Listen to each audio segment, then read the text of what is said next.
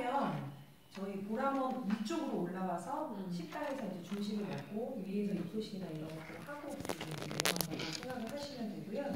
내려가서는 이제 체크인하고 텐트 배정이 있을 예정입니다. 그래서 체- 그 체크인은 어차피 선생님들께서 아이들 배정을 다 해오시면 네. 거기에 맞게 저희가 아이들에게 먼저 안내를 하고 이제 가방이 다 있으면, 있으면 아이들이 설명하기 힘드니까요. 숙소 배정만 먼저 다 해서 그 숙소에 그 텐트에다 짐을 다 넣어놓고 그 다음에 나와서 이제 장비 설명이라든지 이런 것들 다 드릴 거예요. 그래서 이제 가방 놓고 그 텐트별로 한 두 명씩 이제 카트로 짐을 가지고 가야 되기 때문에 두 명씩만 나와서 저희가 이제 짐을 싣고 올라가라고 안내를 해줄 거고요. 여기 이제 보시 일정표에 보시면 OT라고 되어 있어서 캠핑 생활하는데 안전교육 장비 설명이 음. 있습니다. 이건 전체 친구들 다 저희가 교육을 좀 시킨다고 보시면 되고요. 그다음에 이제 이 OT 시간이 끝나면 이제 캠핑 요리를 아이들이 좀 준비를 할 건데요. 어차피 식자재나 이런 것들은 저희가 텐트별로 이렇게 아이스박스가 다 준비되어 있어요. 그래서 그 안에 식재료, 그 다음에 아이들이 뭐 만들 것들을 저희가 다 준비를 하고요. 양념내 이런 것들도 다. 그래서 아이들이 이제 조리만 하면 되는 형식으로 그렇게 진행이 된다고 보시면 되겠습니다. 그래서 저녁에 이제 그 아이들이 뭐 밥도 만들어 먹고 이러려면 시간이 좀 꽤 걸리기는 해요. 근데 어쨌든 아이들이 이제 캠핑의 주 목적이 아이들이 그런 걸 경험해 보는 데 목적이 있으니까요. 이제 그래서 캠핑 요리를 지금 5시부터 그 뒷정리까지 8시까지로 지금 잡아놨어요. 3시간 정도. 그래서 아이들이 밥 먹고 설거지하고 이런 시간까지 다 8시까지로 잡아놨고요.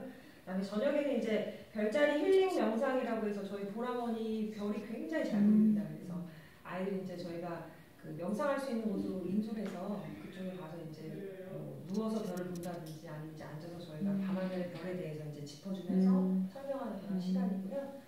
그다음에 이제 이거 한 시간 정도 하면 저녁에는 이제 일과 정리하고 취침 들어가는데 저희가 이제 사이트별로 지도자들이 좀 돌아다니면서 아이들 취침 점검이라든지 인원 점검, 환자 파악 이런 것들은 다 할 거고요.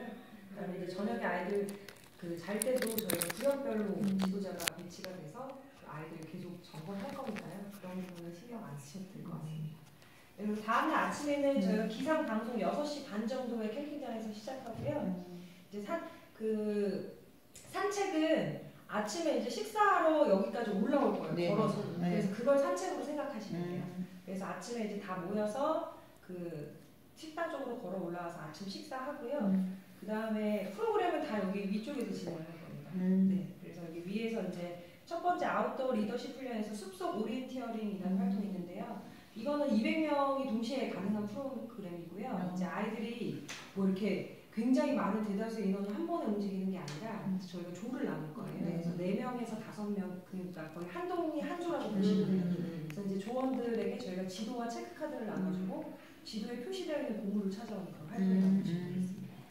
그래서 이제 오전에는 이대로 진행이 되고요. 이게 끝나면 이제 보라마 식당에서 그 점심을 먹고 그 다음에 텐트로 각자 개별적으로 밥 먹을 친구들부터 내려가서 이제 휴식을 좀 취할 거고요. 그 다음에 오후 활동 같은 경우는 이건 이제 보람 저희 대표 프로그램이라고 보시면 되고요. 챌린지 어드벤처, 탐사 이렇게 두 가지 활동을 모두가 다 경험하는 시간인데 이제 200명 조금 넘으시니까 이제 인원을 반 나눠가지고 500명 넘지 않아요. 아 그러세요? 네네. 그럼 이제 인원을 다 나눠서 로테이션으로 네. 챌린지 먼저 뗏목, 그 다음에 뗏목 먼저 챌린지 이런 식으로 해서 이제 오후에는 그 이 야외 활동이 이루어진다고 보시면 되겠습니다. 챌린지 같은 경우는 이제 로프 코스라고 보시면 되고요. 여기 그 사진에 보시면 맨 위 저 밑에. 맨 마지막에 있는 이런 로프 네, 코스에서 물을 아이들이 이제 넘어가는 그런 활동이라고 보시면 되고요. 뗏목 탐사는 바로 그 옆에 있는 사진이 뗏목 탐사 활동입니다. 그래서 저희가 이제 계곡 같은 데서 래프팅처럼 하면 굉장히 위험해서 안 되고요. 저희 원내에 이제 호수같이 생긴 뗏목장이 있어요. 그래서 그 한눈에 들어오는 곳이어서 거기서 다 모두 개별적으로 구여족이 있고 패들 하나씩 들고 뗏목에 그 승차를 하고요. 그다음에 이제 뗏목 위에 타면 아이들이 이제 수영 잘한다고 일부러 빠지는 아이들 있는데 이제 그런 아이들을 저희는 이제 안전교육으로 절대 그렇게 하지 말라고 안내는 하고 있고 발만 물에 담근다고 생각하시면 돼요. 네, 그래서 아이들이 뭐- 수심이 네. 네네네. 수심이 어떻게 돼요? 호수예요, 호수. 네.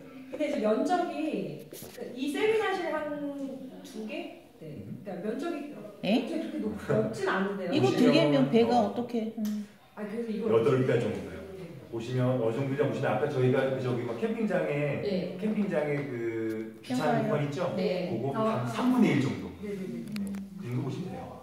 여기 뗏목이 8개 네네. 정도. 수심은요? 수심은 가운데는 한 1m 한 50 정도. 아, 네. 서 있을 수 있네요. 구명조끼 이런 거는 몇 년에 한 번씩 바꾸 오세요? 2년에 한 번씩. 네. 저희 작년에 또 새로 구비를 해가지고요. 음, 네. 뭐 이렇게 상태가 안 좋거나 이렇지 않고. 네. 또 저희 뭐 수련시설 평가 이런 거 할 때 그런 것들도 다 체크하셔서 보세요. 음. 활동 이런 장비라든지 이런 것들. 네. 그래서 저희 작년에 7회 우수 등급 받아서. 이거는 네. 애들 얼마나 타나요? 시간은? 한아 시간은 한 1시간 정도? 네. 배에 타서? 배- 뗏목에 타서? 아 아니요 이제 그 전에 안전교육이나 이런 거 음. 이루어지죠. 그래서 뗏목 위에 타는 올라가 거는? 있는 시간은 한 3, 40분 정도 보시면 돼요. 3, 40분. 네네네네. 한 팀당 3, 40분이나 거기 있어요. 네네네.